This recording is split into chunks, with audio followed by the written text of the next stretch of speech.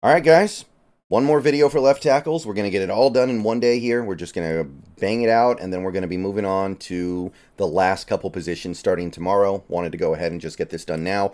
I know it's not super compelling for people. I know left tackle's not the position to discuss right now with the Seahawks, but I wanted to be comprehensive. So, three more guys we're going to look at here. We're going to start with a very fun guy, Tylan Grable of UCF. Um, 24 years old, got pretty good size, 6'6", 306 pounds, 33 and 5 8 inch arms, which it's not great, but for a guy this late in the draft, it's workable. 10 and an eighth inch hands, killed the combine, murdered the combine. I mean, this was some crazy stuff. And I know he's a little bit smaller than the average left tackle, so you would expect a little bit of it, but 49540, 16910 yard split, 36 and a half inch vert, one of the biggest verts ever by a tackle, and 9 foot 9 inch broad. The guy's a freak athlete. Um, ESPN likes him enough to put him in the, um, I think that's like the early sixth. Now, CBS has him undrafted, so does the database, so you're probably wondering, you know, what gives.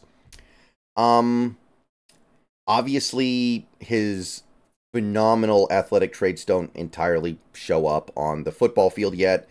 And until he can kind of get to that point, we're still dealing with a guy who is right now just a really good athletic specimen. Uh, the numbers last year were really good, though. I will say that. Only allowed 10 pressures, zero sacks, one hit, nine hurries. Big improvement over his pretty rough pass protecting in 2022. The testing numbers alone make this guy compelling. He's got great agility when he's in his pass uh, rush slides and when he's moving in space and throwing blocks in space. You can see the uh, great athleticism. So he's somebody who's got the lateral agility and the just general straight line agility. He's really good with his hands. He's got strong punches, always trying to use his hands to gain advantages over the guys he's blocking. Understands leverage. He's six six, but he knows how to get low, be the low man, get his pads, get underneath the pads. Got a strong latch as well. So there's a lot to like with Grable. And at first blush, it seems like people have kind of slept on this one a little bit. But while his punches are strong, there's kind of a lack of placement with them, I think. He doesn't always place them rightly, uh, correctly.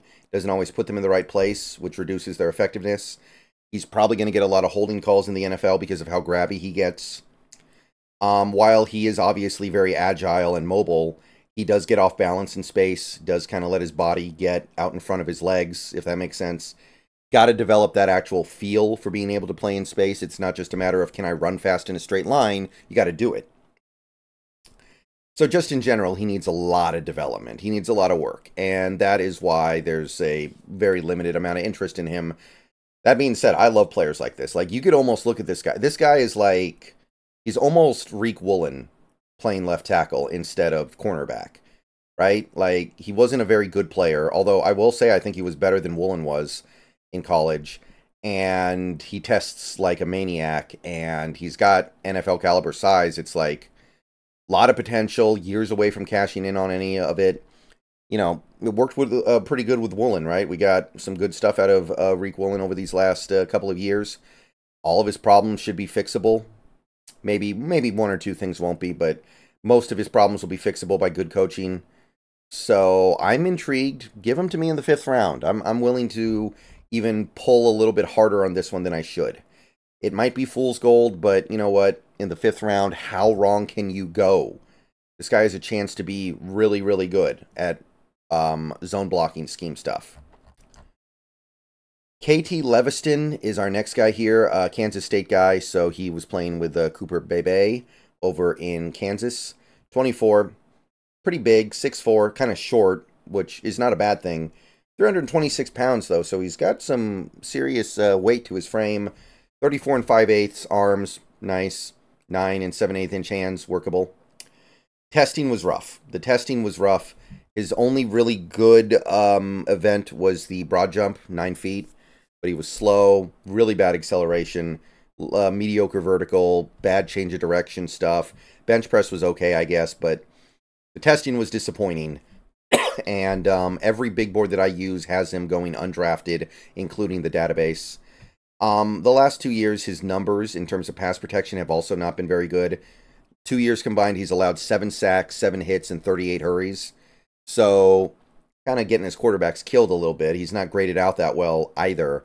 So, Leveston, um, kind of not bringing a ton to the on his resume that you like going into um, going into 2024.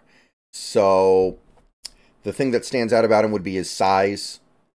For a guy who's probably going to go as a UDFA, he looks like he should be a starting left tackle in this league. He's he's big. He's got long arms. Uh, he handles himself well in space on the tape. I know the testing is bad, and that should be a factor. But it's maybe like Oluwatimi, right? Oluwatimi did not test well at all, really, but he can handle himself in space because we saw him do it a million times at Michigan. He's powerful in his run blocking. He's got a lot of power. He's a stronger player. He's uh, stronger than a lot of these late round left tackles we've been looking at. So he is bringing something to the table that some of the previous guys just don't have in their game yet. And I could see Leveston maybe moving out to right tackle to take advantage of his strength. I could see him moving to left guard. It wouldn't surprise me if he ends up being like a utility man, somebody who can play a few different positions, not necessarily be great at any of them, but be workable. Could be kind of like uh, maybe what we have with Jake Curhan, where Curhan was kind of sort of workable at tackle and guard. He wasn't good, really, but he was playable. So that might be something that works well for us. And I think he'll be scheme flexible as well. He'll be able to do zone, he'll be able to do gap and get away with both.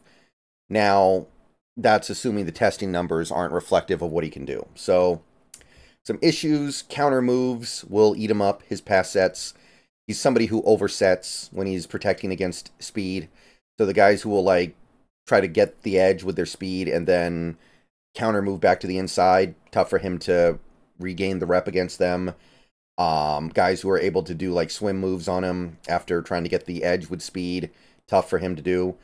Uh, the testing scores are still troubling, and we have to wonder how much of his move skills are going to translate to the NFL level because he's just not very athletic. He gets off balance and bends at the waist when he's uh, making contact with defenders. Gets a little over aggressive and just kind of leans in at the waist, which definitely shouldn't be doing um, definitely shouldn't be doing that if you can avoid it. It leaves you susceptible to moves, and he just needs more variety in the way he attacks uh, defenders in his sets. Like you need to be able to throw various um, various uh, hand moves at guys in order to keep them guessing, and he's just got a limited amount in his uh, bag of tricks. So the poor testing has kind of killed the hype here. There is some compelling potential based on his tape, though. I don't want to get completely away from that.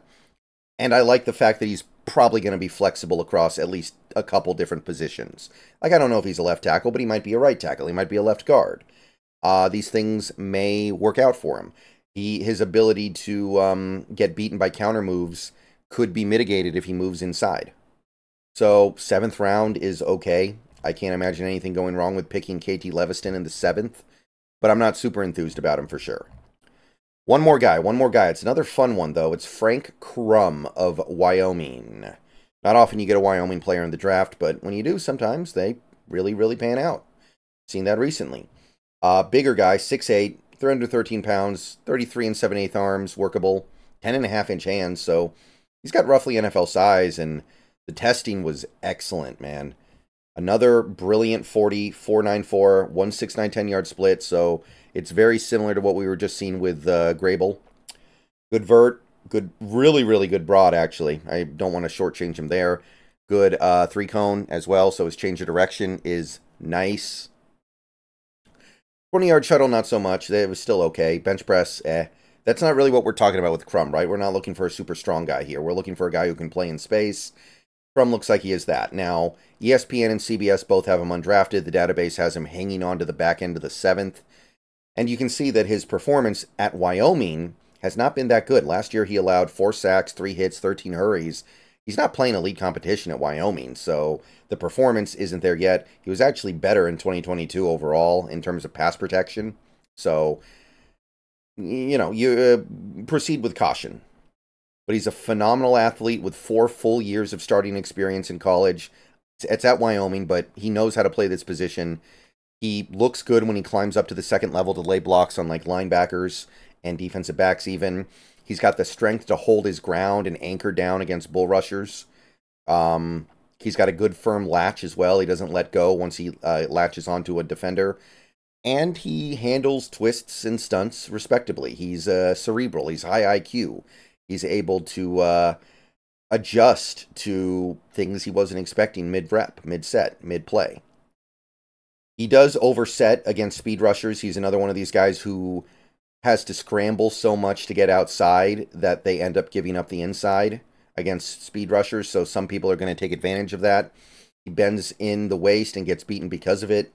He's another one of these guys who just is so eager to get into contact. He'll bend at the waist and be susceptible to a like a swim move. Lateral quickness is not that great, which is disappointing given how good he tested, but his lateral quickness is not as good as his straight line and general quickness. And he loses balance and ends up on his butt way too much. He ends up on the ground a lot. So you watch his tape, you will see him end up on the ground way too much here. So he's a fascinating specimen, but he's not quite where he needs to be in the areas that really count, right? Like offensive linemen who can move in space like this are great, but you also but it's actually more important to be able to move laterally, and I don't think his lateral movement skills are all that. Um, I do think there's some real potential here, regardless, and he's got strength as well. So there is a um, appealing prospect here. I'd say sixth round. I'm not against it in the sixth. I, I don't think I'm crazy here, man. Uh, this kind of athletic profile is going to do something. All right. I will see you guys later. Go Hawks. That's it for today. Tomorrow we move on to a new position. There are only a couple left, so we're going to be wrapping things up shortly here. Thank you for hanging on with me. We are almost to the end of this. We do have almost, well, actually, I think approximately another week left. Probably, it's probably going to end up being a little more than a week because there's these last two positions are so big, and then there's some cleanup to do. But we're getting there. See you guys later.